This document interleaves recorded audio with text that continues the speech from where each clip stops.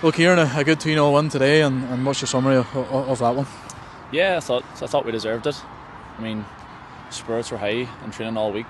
I know, obviously, it's not nice to lose two in a row coming on, coming into the game having lost against Ballymena and Cliftonville, but I know we took positives out of them two games, and then we just thought if we were more clinical in the final third and kept a clean sheet, I know sounds sounds easy saying it, but we just thought if we could put them two things together, we'd have a good chance of winning the game, and thankfully we we did today, and Connor came up with the, with the goals. Yeah, you mentioned the clean sheet, and obviously you'll be the first to admit that it's a collective effort from, from everyone. Yeah, definitely. I suppose whenever we score goals all together, and whenever we keep a clean sheet, it's a collective group from the players on the pitch, and of course from the ones coming off the bench. So no, it's, it's important, especially for us as defenders, to keep a clean sheet. It's as it's as good as, as scoring goals. So yeah, it's definitely a big plus to take into Tuesday night's game.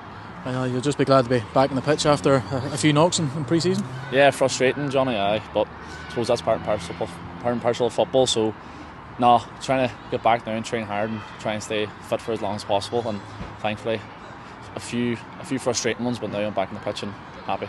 And finally, you'll be, you'll be resting up now for Tuesday night, and uh, maybe a bit of revenge against Ballymena, or do you just see it as a, a, a, as another game? Yeah, definitely. I suppose it's a derby game, so you have to go into it with that little bit of edge. But we'll treat it like every every other game. Um, we'll just prepare properly, quiet weekend, and then we'll we'll go into Tuesday night with maybe a wee eye on, of course, wanting to get one back because we thought we didn't deserve that or whatever. So no, all all all ahead now, looking to, towards Tuesday night, and hopefully we can get a positive result and bounce on.